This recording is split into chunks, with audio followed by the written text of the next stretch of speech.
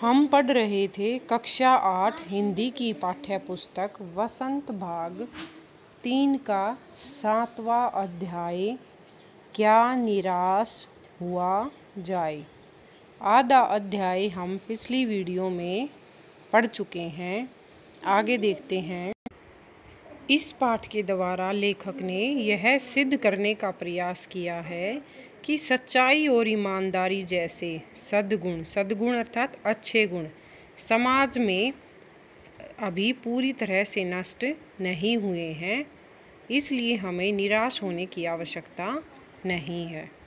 आगे हम देखते हैं, हुआ यह है कि इस देश के कोटि कोटि दरिद्र जनों की हीन अवस्था को दूर करने के लिए ऐसे अनेक कायदे कानून बनाए गए हैं, जो कृषि, उद्योग, वाणिज्य, शिक्षा और स्वास्थ्य की स्थिति को अधिक उन्नत और सुचारू बनाने के लक्ष्य से प्रेरित है। ठीक है? कि ऐसे कायदे, कानून या नियम बनाए गए हैं किन के लिए जो दरिद्र जन है, गरीब लोग हैं, ठीक है? उनके लिए, उनकी अवस्था को सुधारने के लिए। जो कृषि, उद्योग, आदि, शिक्षा, स्वास्थ्य आदि से संबंधित होते हैं। वाणिज्य क्या होता है? पैसे कमाने के उद्देश्य से किया गया क्रय या विक्रय। ठीक है? इन सबसे संबंधित क्षेत्रों में ऐसे कायदे, कानून या नियम बनाए गए हैं, जिनसे गरीब लोगों को सहायता मिल सके। परंतु जिन लोगों को इन कार्यों में लगना है, उनका मन सब समय पवित्र नहीं होता। लेकिन इन कार्यों की ज़िम्मेदारी जिन लोगों को दी जाती है, ज़रूरी नहीं है कि उन सभी का मन भी पवित्र हो। अर्थात जो सुविधाएँ उनको मिलनी चाहिए, वो उन गरीब लोगों को देते नहीं हैं। ठीक है? वे अपने लक्ष्य को भूल जाते हैं। वो इन पदों पर बैठे व्यक्ति अपने लक्ष्य या अपने उद्देश्य को भूल जाते हैं कि हमें इन गरीब लोगों की सहायता करने के लिए यहाँ इस पद पर बैठाया गया है। और वो अपनी ही सुख सुविधा की ओर ज़्यादा ध्यान देने लग जाते हैं। उसके बदले वो अपनी सुख सुविधाओं को बढ़ाने में लग जाते हैं। भारतवर्ष सदा कानून को धर्म के रूप में देखता आ रहा है। आज एकाएक कानून और धर्म में अंतर कर दिया गया है। धर्म को धोखा नहीं दिया जा सकता, कानून को दिया जा सकता है। यही कारण है कि जो लोग धर्म भीरू हैं वे कानून की त्रुटियों से लाभ उठाने में संकोच नहीं करती हैं। ठीक है? धर्म भीरू क्या होते हैं? धार्मिक नियमों से डरने वाले लोग धर्म भीरू कहलाते हैं। ठीक है? इसमें लेखक क्या बता रहे हैं कि हमारे देश में कानून को धर्म के रूप में देखा जा रहा है, लेकिन आज के दिन इन दोनों में अंतर किया जा रहा है। धर्म को धोखा, धर्म में विश्वास मानने वाले लोग ये मानते हैं कि धर्म को तो हम धोखा नहीं दे सकते, लेकिन कानून को अवश्य ही धोखा दिया जा सकता है। ठीक है? इसलिए लोगों में यह धारणा बन गई है और वे जो कानून बनाए जाते हैं, उन कानूनी नियमों को तोड़कर, तोड़ने में कोई संकोच नहीं करते हैं। ठीक है? आगे हैं। इस बात के पर्याप्त प्रमाण खोजे जा सकते हैं कि समाज के ऊपरी वर्ग में, चाहे जो भी होता रहा हो भीतर भीतर भारतवर्ष अब भी यह अनुभव कर रहा है कि धर्म कानून से बड़ी चीज़ है। अब भी सेवा, ईमानदारी, सच्चाई और आध्यात्मिकता के मूल्य बने हुए हैं। वे दब अवश्य गए हैं, लेकिन नष्ट नहीं हुए हैं। आज भी मनुष्य से प्रेम करता है, महिलाओं का सम्मान करता है, झूठ और चोरी को गलत समझता है। दूसरों को पीड़ा पहुँचाने को पाप समझता है। हर आदमी अपने व्यक्तिगत जीवन में इस बात का अनुभव करता है। ठीक है? क्या कहा है इसके द्वारा लेखक ने कि दुनिया में सच्चाई और ईमानदारी अभी भी शेष है। इसके समाज में अनेक प्रमाण भी हैं। ठीक है? लेखक समाज में फैली हुई बुराइयों से खिन यानी दुखी अवश्य है, परंतु उसे इस बात की संतुष्टि है कि अभी भी समाज में सच्चाई और ईमानदारी के रास्ते पर चलने वाले लोग मिल सकते हैं, ज़िंदा है। ठीक है? अतः लेखक का विचार है कि समाज में इसके परिणाम स्वरूप अनेक ऐसे उदाहरण हैं जो इस बात को प्रमाणित करते हैं। कि जो ऊपरी वर्ग है, ऊपरी वर्ग अर्थात जो धनी व्यक्ति है, उच्च पद, उच्च पदों पर आसीन है, बड़े पद पर जो बैठा है, उन लोगों की स्थिति चाहे जैसी भी हो, ठीक है? परंतु भारत का अधिकतर समाज आज भी धर्म को कानून से ऊपर समझता है। वह उच्च नैतिक मूल्यों को महत्व प्रदान करता है। आज भी समाज में सेवा की भावना शेष है। ठीक है? आज भी समाज में लोगों समाज के लोगों में एक दूसरे के प्रति प्रेम है। महिलाओं का सम्मा, सम्मान करते हैं। आज भी ऐसे लोग हैं जो महिलाओं को सम्मान की दृष्टि से देखते हैं झूठ और चोरी को गलत समझते हैं दूसरों को दूसरों को पीड़ा पहुँचाने पीड़ा मतलब दुख पहुँचाने को पाप समझते हैं। हर आदमी अपने व्यक्तिगत जीवन में इस बात का अनुभव करता है। मतलब हर व्यक्ति को अपने जीवन में ऐसे चीज़ें, ऐसे कार्य, ऐसे व्यक्ति देखने को कहीं ना कहीं मिल ही जाते हैं। तो हर व्यक्ति इन बातों को अनुभव करता है कि पूरी तरह से सच्चाई और ईमानदारी अभी नष्ट नहीं हुई है। ठीक है? समाचार पत्रों में जो भ्रष्टाचार के प्रति इतना आक्रोश है, वह यही साबित करता है कि हम ऐसी को गलत समझते हैं और समाज में उन तत्वों की प्रतिष्ठा कम करना चाहते हैं जो गलत तरीके से धन या मान संग्रह करते हैं। मतलब आज भी जब समाचार पत्रों में भ्रष्टाचार के भ्रष्टाचार के किस्से छपते हैं तो लोगों का गुस्सा साफ़ दिखाई देता है और वह गुस्सा यह साबित करता है, उन चीज़ों को गलत ठहराता है जो समाज में जो समाज में गलत तरीके से धन कमाते हैं, जो लोग समाज में गलत तरीके से धन और इज़्ज़त कमाते हैं, उन लोगों के प्रति वह आक्रोश दिखता है। आगे है, दोषों का पर्दाफाश करना बुरी बात नहीं है। बुराई यह मालूम होती है कि किसी के आचरण के गलत पक्ष को उद्घाटित करके उसमें रस लिया जाता है और दोष उद्घाटन को एकमात्र कर्तव्य मान लिया जाता है। बुराई में रस लेना बुरी बात है, अच्छाई में उतना ही रस लेकर उजागर न करना और भी बुरी बात है।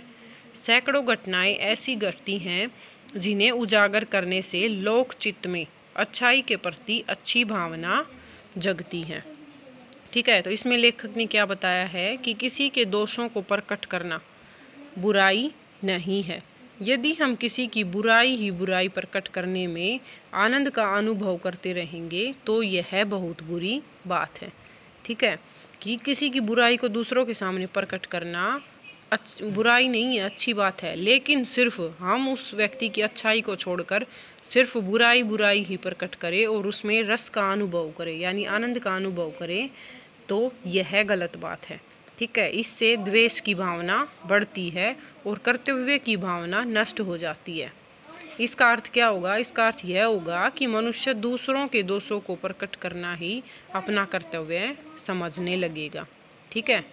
इसके विपरीत इसके विपरीत यदि हम किसी की अच्छाइयों को रस लेकर प्रकट नहीं करते हैं तो यह और भी अधिक बुरी बात है। अर्थात हमें लोगों की अच्छाइयों को भी सबके सामने प्रकट करना चाहिए, ठीक है? अतः बुराई का रहस्य उद्घाटन, बुराई को प्रकट करना करके और उसमें रस लेना बहुत बुरी बात है।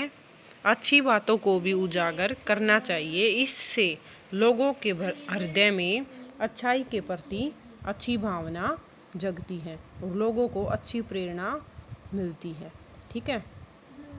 आगे है एक बार रेलवे स्टेशन पर टिकट लेते हुए गलती से मैंने दस के बजाय सौ रुपये का नोट दिया और मैं जल्दी जल्दी गाड़ी में आकर बैठ गया। लेखक एक बार अपने साथ हुई घटना को हमारे सामने बताता है कि एक बार रेलवे स्टेशन पर टिकट लेते हुए गलती से उसने दस के बजाय सौ का नोट दे दिया और जल्दी जल्दी में गाड़ी में आकर बैठ गया।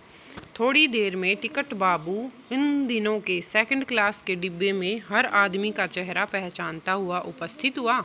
उसने मुझे पहचान लिया और बड़ी विनम्रता के साथ मेरे हाथ में नब्बे रुपये रख दिए और बोला, यह बहुत गलती हो गई थी। आपने भी नहीं देखा, मैंने भी नहीं देखा। उसके चेहरे पर विचित्र संतोष की गरिमा थी और मैं चकित रह गया। ठीक है? इस बात से क्या पता चल रहा है कि लोगों में आज भी ईमानदारी बाकी है। ठीक है? वरना जो रेलवे स्टेशन पर जिसने जो टिकट देने वाला बाबू था, उसको क्या पड़ी थी वापस नब्बे रुपये देने की? उसको तो नब्बे रुपये मिल रहे थे। लेकिन उसने अपनी ईमानदारी दिखाई और नब्बे रुपये उसके वापस कर दिए। ठीक है? और नब्बे रुपये वापस करने के बाद उसके चेहरे पर एक संतोष की भावना थी। मैं चकित रह गया। लेखक आश्चर्य करने लगा। कैसे कहूँ कि दुनिया से सच्चाई और ईमानदारी लुप्त हो गई है। वैसी अनेक अवांछित घटनाएँ भी हुई हैं, परंतु यह एक घटना ठगी और वंचना की अनेक घटनाओं से अधिक शक्तिशाली है। तो लेखक कहता है कि मैं कैसे कह सकता हूँ कि दुनिया से सच्चाई और ईमानदारी लुप्त लुप्त मतलब खो गई है। ठीक है? वैसी अनेक अवांछित घटनाएँ भी हुई हैं। लेखक के साथ और भी कई बार लेखक को ठगा गया है, किसी ने उसको धोखा दिया है, ठीक है? ऐसी घटनाएँ अवांछित जिनको हम चाहते नहीं, हम अपने लिए नहीं चाहते, जिन क्रियाओं को ऐसी अवांछित घटनाएँ, ऐसी घटनाएँ लेखक के साथ हुई हैं, लेकिन फिर भी लेखक उदास नहीं है। क्योंकि अगर उसके साथ बुरी घटनाएँ हुई हैं तो उसके साथ अच्छी घटनाएँ भी हुई हैं। और जो ये अच्छी घटना थी, वो उन बुरी घटनाओं से कहीं अधिक शक्तिशाली है। इसलिए लेखक आज निराश नहीं है। ठीक है? एक किस्सा और बताते हैं कि एक बार मैं बस में यात्रा कर रहा था। मेरे साथ मेरी पत्नी और तीन बच्चे भी थे। बस में कुछ कुछ खराबी, बस में कुछ खराबी थी। रुक रुक कर चलती थी। गंतव्य से कोई आठ किलोमीटर पहले ही। गंतव्य क्या होता है? वह स्थान जहाँ हमें पहुँचना हो। गंतव्य क्या होता है? वह स्थान जहाँ हमें पहुँचना हो। तो गंतव्य से कोई आठ किलोमीटर पहले ही एक निर्जन निर्जन जहाँ कोई न हो। सुनसान स्थान में बस ने जवाब दे दिया। तो यहाँ लेखक ने बताया है कि एक बार लेखक अपनी पत्नी और बच्चों के साथ एक बस में बैठा था। उस बस में कुछ खराबी हो गई थी और बस रुक रुक कर चल रही थी।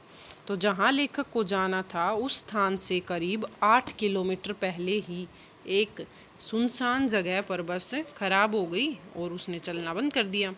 रात के कोई दस बजे होंगे। उस समय समय क्या था? रात के दस बजे थे। बस के यात्री घबरा गए, डर गए कंडक्टर उतर गया और एक साइकिल लेकर चलता बना। कंडक्टर उतरा और उसने लोगों को कुछ नहीं कहा और चुपचाप एक साइकिल साइकिल लेकर चलता बना। लोगों को संदेह हो गया। संदेह मतलब शक हो गया कि हमें धोखा दिया जा रहा है, वरना हमसे कुछ तो कहता, चुपचाप ऐसे थोड़े ना निकल जाता। बस में बैठे लोगों ने तरह तरह की बातें शुरू कर दी। उस कंडक्टर के बारे में अनेक तरह की बातें बनानी शुरू कर दी और कुछ कुछ उनके दिमाग में आने लगा कि क्या हो सकता है, शायद हमें लूट लिया जाए, हमें मार दिया जाए ऐसी ऐसी बातें उनके मन में आने लगी। किसी ने कहा, यहाँ डकैती होती है। ठीक है? दो दिन पहले इसी तरह एक बस को लूटा गया था। परिवार सहित अकेला मैं ही था। ठीक है? बच्चे पानी पानी चिल्ला रहे थे। पानी का कहीं ठिकाना नहीं था ऊपर से आदमियों का डर समा गया था। उसके बच्चे प्यास के मारे पानी से चिल्ला रहे थे पानी मांग रहे थे और ऊपर से लोगों ने उनके मन में डर बैठा दिया था। ठीक है? जैसा कि यहाँ देख सकते हैं आप फ़ोटो में। आगे है। कुछ नौजवानों ने ड्राइवर को पकड़कर मारने पीटने का हिसाब बनाया। कुछ लोगों ने बाद में सोचा कि ड्राइवर को पीट हम्म, पकड़कर इसको पीटते हैं। ठीक है? ये भी उसके साथ मिला हुआ है। ड्राइवर के चेहरे पर हवाइयाँ उड़ने लगी। हवाइयाँ उड़ना, घबरा जाना। ड्राइवर उनको देखकर घबरा गया। लोगों ने उसे पकड़ लिया। वह बड़े कातर ढंग से, कातर मतलब डरे हुए ढंग से डर गया था। तो कातर क्या होता है? डरा हुआ। ठीक है? डरा हुआ। मेरी ओर देखने लगा और बोला, हम लोग बस का कोई उपाय कर रहे हैं। कि हम नई बस लाने का या बस को ठीक करने का कोई उपाय सोच रहे हैं। आप मुझे इनसे बचाइए, ये लोग मुझे मारेंगे। डर तो मेरे मन में भी था, डर तो लेखक भी रहा था, पर उसकी कात्र मुद्रा, ठीक है, डरा हुआ भाव देखकर मैंने यात्रियों को समझाया कि मारना ठीक नहीं है। परंतु यात्री इतने घबरा गए कि मेरी बात सुनने को तैयार नहीं हुए। कहने लगे, इसकी बातों में मत आइए, यह हमें धोखा दे रहा है। ठीक है, हमें बहलाकर ये यहाँ रोकने की कोशिश कर रहा है। कंडक्टर को पहले ही डाकुओं के यहाँ भेज दिया है। इसने कंडक्टर को पहले ही भेज दिया है। मैं बहुत भयभीत था, डरा भयभीत, डरा हुआ था, पर ड्राइवर को किसी तरह मारपीट से मैंने बचाया। डेढ़ दो घंटे बीत गए। मेरे बच्चे भोजन और पानी के लिए व्याकुल थे। व्याकुल मतलब दुखी या बेचैन थे, ठीक है? व्याकुल या दुखी या बेचैन थे। मेरी और पत्नी की हालत भी बुरी थी। लोगों ने ड्राइवर को मारा तो नहीं, पर उसे बस से उतार कर एक जगह घेर कर रखा। उस ड्राइवर को उन्होंने पकड़े रखा, छोड़ा नहीं।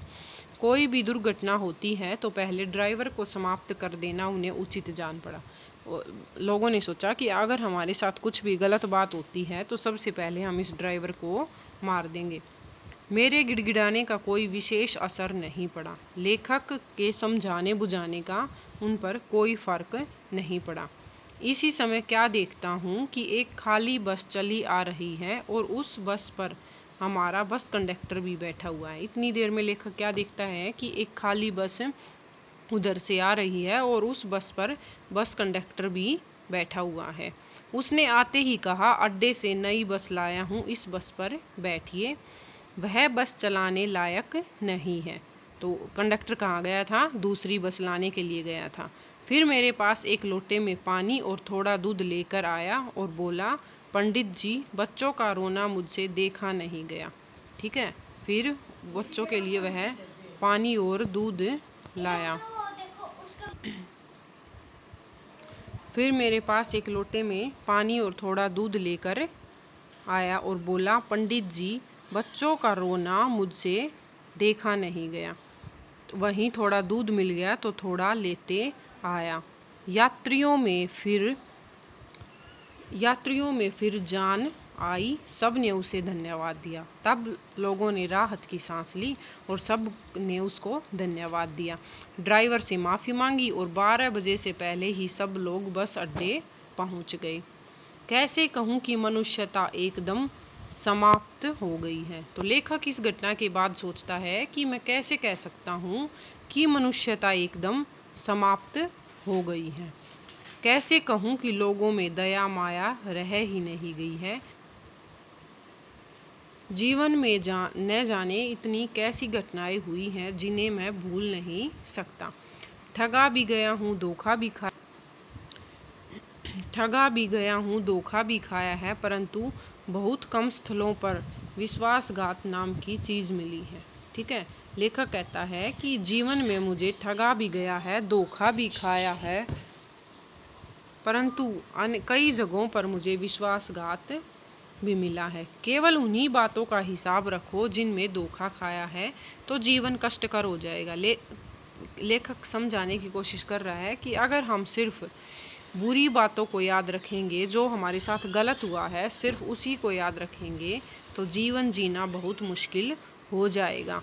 परंतु ऐसी घटनाएँ भी बहुत कम नहीं हैं, जब लोगों ने अकारण सहायता की है।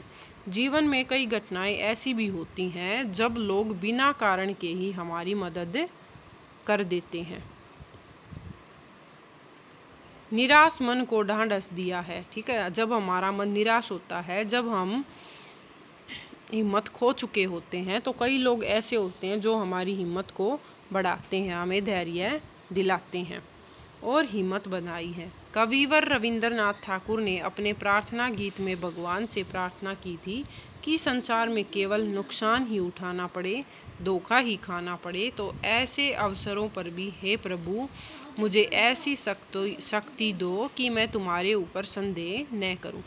क्या कहा था रविंद्रनाथ टैगोर जी ने कि कि अगर मुझे संसार में केवल नुकसान भी उठाना पड़े, धोखा भी खाना पड़े तो भी कुछ ना कुछ मेरे साथ ऐसी घटना ज़रूर करना कि मेरा विश्वास आप पर बना रहे, ठीक है? मनुष्य की बनाई विधियाँ गलत नतीजे तक पहुँच रही हैं तो इन्हें बदलना होगा। वस्तुतः आए दिन इन्हें बदला ही जा रहा है, लेकिन अब भी आशा की ज्योति बुझी नहीं है। महान भारतवर्ष को पाने की संभावना बनी हुई है, बनी रहेगी। मेरे मन निराश होने की ज़रूरत नहीं है। तो यहाँ लेखक ने क्या कहा है? बा क्या बताया है इस निबंध में कि समाज और भारत के, भारतवर्ष के प्रति लेखक ने अपने आशावादी विचार प्रकट किए हैं। इस का, इसमें लेखक ने गलत नीतियों के स्थान पर सही नीतियों या नियमों को अपनाने का संदेश दिया है। लेखक ने कहा है कि आज समाज में मनुष्य द्वारा बनाए गए नियम एवं नीतियाँ गलत सिद्ध हो रहे हैं तो इन गलत नियमों को हमें बदलना होगा। जब ये गलत नियम बदलेंगे, तभी देश को, व समाज को हम सही मार्ग पर आगे बढ़ा सकेंगे। अतः बार बार बदलाव की आवश्यकता पड़ती है। लेखक का मानना है कि भारत में आज भी आशा की ज्योति बुझी नहीं। है। आज भी भारतवर्ष में उच्च आदर्श और नैतिक मूल्य विद्यमान है। इसलिए महान भारतवर्ष को पाने की संभावना आज भी मेरे अंदर बनी हुई है। हमारा भारतवर्ष महान था, महान है और भविष्य में भी महान बना रहेगा। लेखक को ऐसी पूर्ण आशा है और हमें भी यह आशा बनाए रखनी चाहिए। वीडियो को लाइक और शेयर करें, चैनल को सब्सक्राइब करें।